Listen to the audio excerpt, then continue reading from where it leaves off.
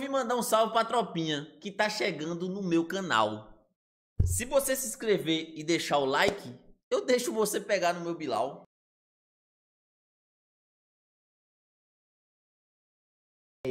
Bom dia, galera. Tranquilo? Uh, bom dia, família. Tamo junto, galera. Acordei mais um dia aí, graças a Deus, bem. Uh, muito bem mesmo. Eu vi aqui as farpas do, do gato. Galera, tá bravo, moleque tá bravo, meu amigo. Tá bravo. Tira a camisa, bestão. Mostra, pra tira a camisa, mostra o peitinho, bestão. tô sentindo as palavras dele, a expressão dele. Ele tá chateado comigo.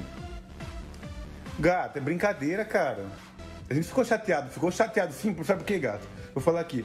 Porque teve um de vocês aí que chegaram a falar de uma forma que. que realmente não era só na zoeira, entendeu? Da casa. Era tipo. Pra entrar no psicológico mesmo, entendeu? Já pensou que os meninos, se sentir, né? É, desvalorizados iam se sentir, entendeu? A gente procurou fazer sempre os melhores, tudo os melhores, entendeu? É, só que chega uma hora que estavam umas brincadeiras que era acima da, da zoeira, entendeu? Era como se fosse uma. no coração. Então o que acontece, eu acho? Trocar um aqui. Então o que acontece? A gente ia, poxa, beleza, tá tranquilo. A gente tá todo mundo dormindo em beliche, né? A gente dorme em beliche, a gente tem mansão velha, a gente paga em diamante. Essa é a nossa fama, galera, entendeu? Essa é a nossa fama. Entendeu? Eu vou fazer o quê? Não posso, eu tenho que entrar na brincadeira. Só que é o seguinte, quando, É o seguinte! vão- quando chega o nosso dia de zoar, tem, tem que aguentar a gente, mano. Porque a gente é foguetão também, a gente vai com tudo pra frente, ó, e não volta tão fácil, meu amigo. A gente vai. Vai igual foguete. Tá ligado? Fica bravo não, gato. Viu, eu gosto muito de você, mano. Eu gosto muito de você. Eu Mano. gosto muito da, da organização da. Ah, foi o mundo. Sapo que falou?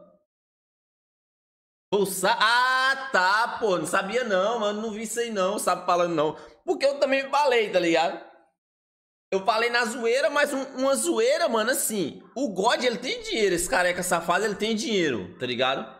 Ele tinha, sim, condição de pegar a mansão, beleza. Né? A mansão, beleza. Mas ele tinha condição de botar umas caminhas, né? Os meninos lá. Mas assim, aí vai na zoeira. Mas realmente mesmo, o Sapo falou, não foi? Ih, rapaz. Esse careca é rico, mano. Vocês ficam achando que esse careca é falido? Esse cara ganha mais dinheiro que eu, esse corno, mano. Ele ganha mais dinheiro do que eu na Twitch, tá? Pra vocês que não sabem, ele ganha mais dinheiro do que eu. E outra, tá, minha tropa? E outra, ele, tinha já, ele já tinha farmado muito dinheiro na Cube. Então, meu parceiro, não tem o que dizer. Mundo, entendeu?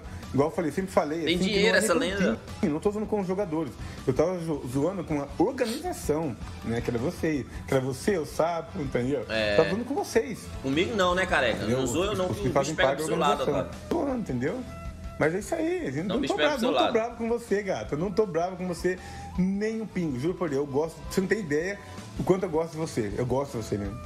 Eu te considero meu amigo, mesmo se você não me considerar seu amigo, entendeu? No caso de um jogador de futebol, né? Um jogador de futebol que tá aposentado hoje. É uma casa que vale muito dinheiro, vale muito mesmo, galera. A casa vale muito dinheiro. Toma ban não, tropa. Aqui não toma ban Aquela casa daquele nunca. bairro, aquele local ali, tá avaliado em muito dinheiro. Não tem ideia. Eu tenho ideia, essa casa aí, eu sei quanto custou a casa do gato. Eu sei quanto custou a casa do gato, galera. Né? E aquela casa ali vale, sabe, várias vezes mais pela loca- localização dela e o valor dela. Entendeu? Pensando, ah, você paga em diamante, o jogador teve aumento de salário já. Praticamente muito, né? E vai ter mais, se Deus quiser. ter Vai, vai, ainda. vai, vai ter. Eu tô pensando aí na cama, realmente na cama pra eles. Se eles que querer cama, vai ter que dar cama pra eles. X1 raiz. Beleza? Raiz. Vai caçar X1 raiz Aí na vai casa do X1 caralho, mesmo. velho. Ou X Squad. Ou X Duo. É, um, esse, escolhe é. X Squad, pô, insano. Tá beleza? Pô, esse podia ir esse X1, mano. O Rodrigo tá jogando É ainda. nóis. Tamo junto. Se eu vou de novo, se não estiver me seguindo, eu vou ficar boladão mesmo, hein? Na moral, hein? Me segue pra dar o hype aí. Me marca em toda publicação sua aí. Pra me dar o hype, mano. Galera, só pra finalizar. É hype. ó, E pior que ele ainda quer um hype ainda, quer um hypezinho ainda, minha Comenta tropa. aqui antes de começar a LBFF. Já que você não vai usar mais a casa aí, falou que essa casa é de Série A, passa pra nós. Porque vocês estão na B. Vocês não vão mais usar. Quer hypar ainda essa lenda. E finalmente minha tropa começou o último dia da classificatória. Não tá preparado? Bora lá ver o que Não, aconteceu não. aqui. lembrar que Eu temos. Flamengo, Cruzeiro e Red Kennedy Calunga jogando. Quero na ver, não. terceira queda. Vamos parar de Rapaziada, chorar. vamos parar de chorar. Copa FF passada, a Red caiu com a gente na última queda e ficamos fora. E nem por isso vim aqui chorar. Vamos. Hashtag eu sou líquido. E o Nobru tweetou. Eita, que a marcação tá rolando. solta. Eita, marcação insana. O Japa do Corinthians também. Não, vou voltar não, cobrar aluguel e ainda mandando as dancinhas. Tá ligado? Hum, Então, japonês. Kaizeira, de uma vez por todas, explicou o motivo disso tudo, o que, é que a Red está fazendo, o porquê que a Red está fazendo isso com a Loud. Então ele disse: Esse é o último tweet que faço explicando para os jogadores de rank. Não dá para pegar a cauda e crossroads só em purgatório. Se a Loud pontuar bem, nos outros mapas o trabalho feito em purgatório é desperdiçado. E por isso rolou a marcação em chip.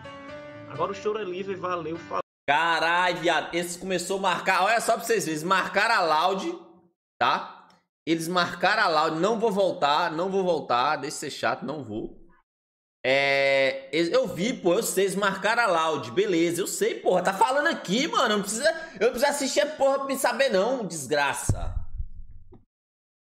Eles marcaram a Loud. Por quê, mano? Porque na final eles poderiam cair em chip sozinho, tá ligado? Em chip não, em, em, crossroad sozinho, em purgatório.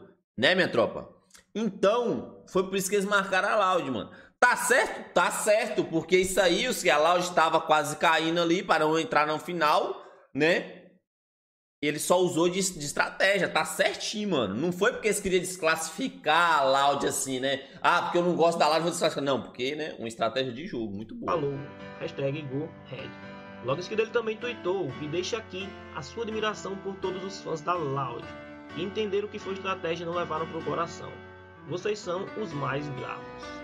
Enfim, chegamos na quinta queda. Olha só como ficou a tabela. E agora iria começar a sexta e última queda. E olha Caralho, só o que aconteceu. Olha só, mano. Mano, olha isso, mano. A Nil amassou muito. Mano, a Nil com 27 pontos atrás. Era só a Cabum jogar direito, mano. Caralho, a Los Grandes lá embaixo, meu irmão, achando petróleo. Não tem como. Loud por um fio. Ah, é, pô. Deixa eu ver aqui a Loud aqui, como é que tava aqui nessa última queda. Pera aí.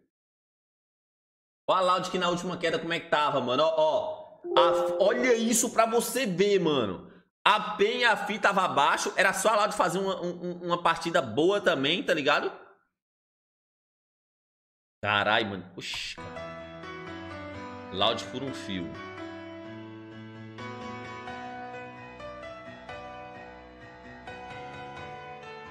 Nobru impostor. Hum.